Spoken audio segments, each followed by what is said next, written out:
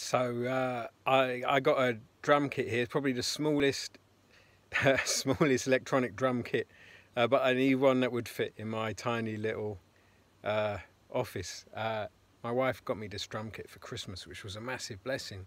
Um, I hadn't drummed for years, and it was so wonderful. Drumming is great for you. It's really, uh, it's really good for you. Um, uh, people even use drumming for therapy these days, but uh, I started drumming and because of my condition, hypermobility, Ehlers-Danlos syndrome, I, I ended up with tendonitis in both arms, uh, which means I can't drum, uh, which is gutting, getting that hobby back and then losing it. And I've also found lately my pain levels are so bad in the evenings, I can't do my other hobbies, which is uh, uh, uh, photography, video editing of family videos, um, and DJing, and I'm in too much pain to do those things in the evening. So I've been losing my hobbies, and um, makes me sad. And something I've been learning over the years is that with these things, it's okay to be sad, and it's okay to grieve, and it's actually healthy to count your losses and to actually be like, I've lost this